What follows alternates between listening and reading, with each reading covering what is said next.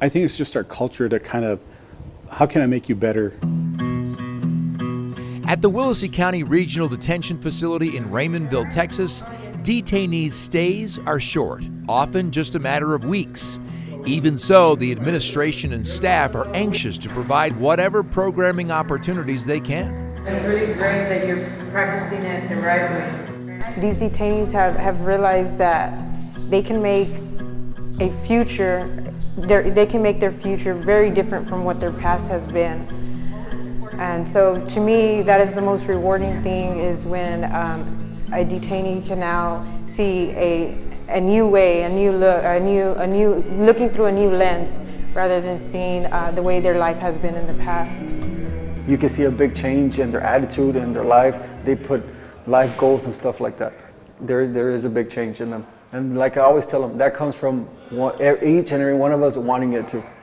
Willacy County's efforts to provide detainees with life skill learning opportunities is not lost on the community. Gilbert Gonzalez is the mayor of Raymondville. As a city leader, uh, I believe in second chances. I believe in third chances. They are teaching them, they're training them, they're educating them, and uh, they, come, they come out better than what they came in as.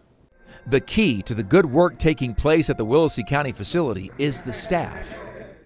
The only way to describe it is um, it's one big family is, the best way to describe it. A big family. They, they like what they do. We have a very low turnover.